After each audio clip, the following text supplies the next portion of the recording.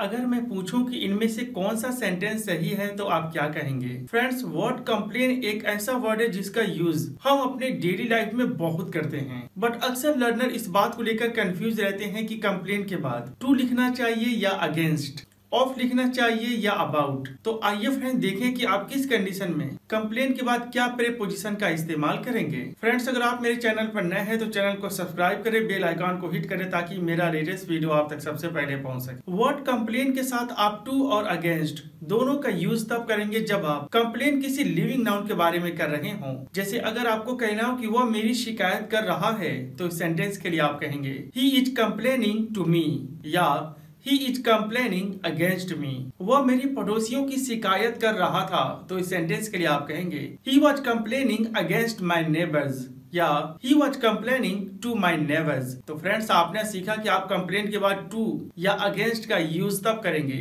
जब आप शिकायत किसी लिविंग नाउन की कर रहे हैं। अगर हम बात समथिंग की करें, यानी नन लिविंग नाउन की करें तो आप कंप्लेन के बाद ऑफ़ या अबाउट का यूज़ करेंगे। जैसे, वे लोग वाटर सप्लाई की शिकायत कर रहे हैं तो सेंटेंस के लिए आप कहेंगे they are complaining about water supply आप ये भी कह सकते हैं they are complaining of water supply वे लोग इस काम की शिकायत कर रहे हैं तो सेंटेंस के लिए आप कहेंगे they are complaining of this project या